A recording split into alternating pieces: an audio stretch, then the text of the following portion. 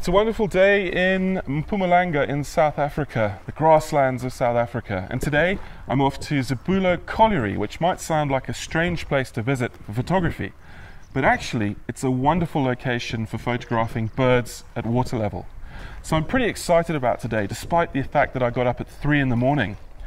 Uh, and I've got about 60 kilometers to go, so I just wanted to check in quickly with you guys, tell you what I was up to, and uh, head on over there.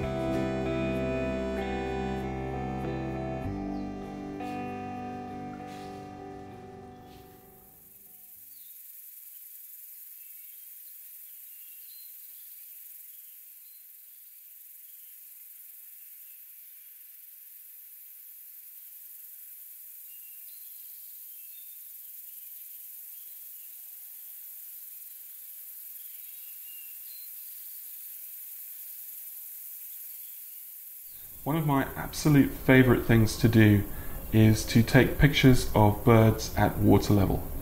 Now, it's not easy to do in South Africa because a lot of the time the water that we do have is in a national park uh, and we can't get out and get into it.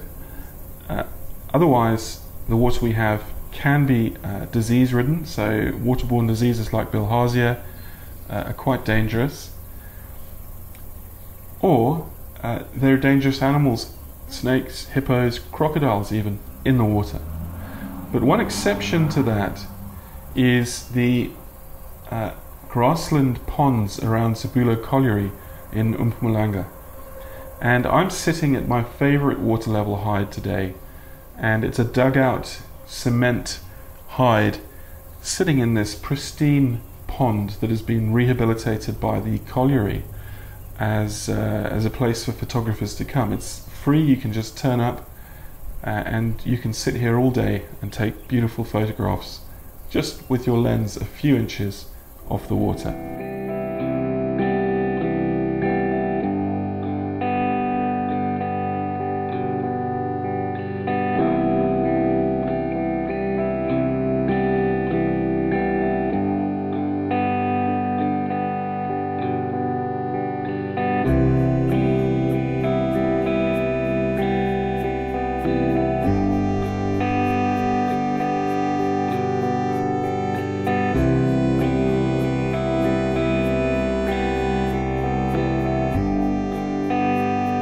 Don't you hate it when you do a long piece to camera and forget to hit the record button?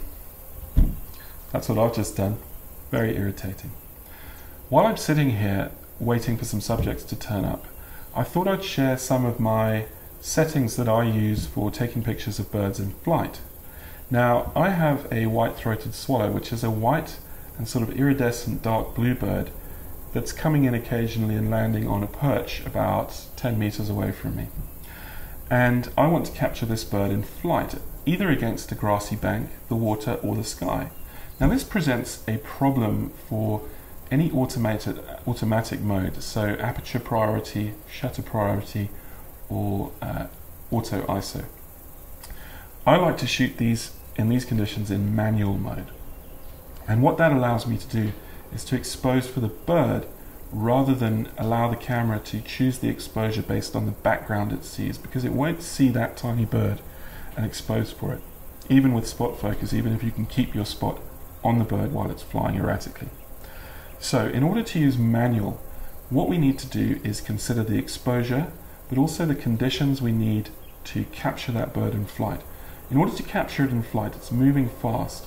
We need a fast shutter speed a relatively deep depth of field because the bird will move front to back in the frame as it moves through the shot.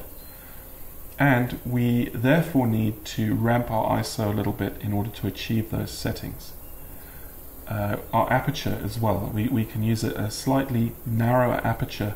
The narrower the better in these conditions because the background is quite far away in order to catch that bird in flight. Because when we narrow that aperture, what it does is it increases our depth of field and allows for some error when we focus on the bird.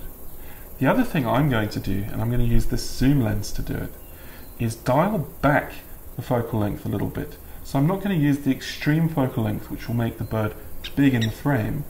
One, because that bird will be difficult to track if it's big in the frame.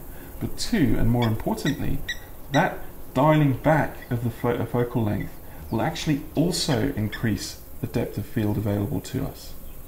So I'm going to focus on this perch with the bird on it, with these settings dialed in in manual mode, which allows me to expose for the bird and not the background. And I'm going to keep that bird in the corner of the frame and he's going to off, uh, take off into the wind from left to right. The wind is blowing this way across the scene, and I should be able to get a few frames of him before he disappears out of the frame and I'm unable to follow him. him. So, bearing all that in mind, I just want to mention how I choose the exposure for these shots. I generally don't use the bird. I know the bird is slightly darker than middle grey. Now I have a grass bank over there. And grass is basically middle grey. So if I focus my camera on that bank and take the exposure of that bank, it's going to give me the settings that I talked about. 1 two thousandths of a, set, uh, a second, ISO 1000 and f9. Now you'll obviously have different conditions when you do this, but use that grass bank for middle grey. Now my bird is slightly darker, so I'm going to dial in two thirds of a stop overexposure. And what that's going to do is allow my exposure in manual mode to stay steady through all of my shots and it won't change the exposure based on my background, which is very important for this kind of photography.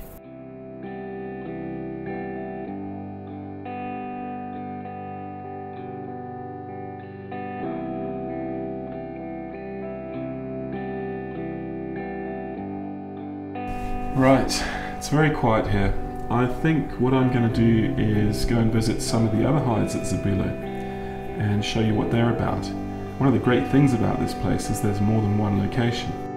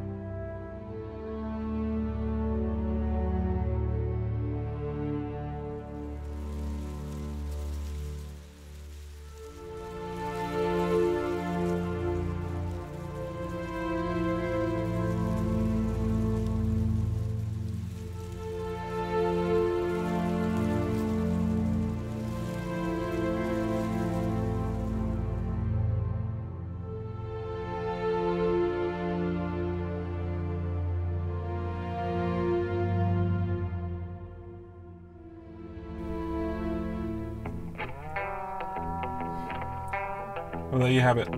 Well, guys, I think it's time for me to head home. The clouds have come in, the birds have gone to sleep, and uh, it's a long drive.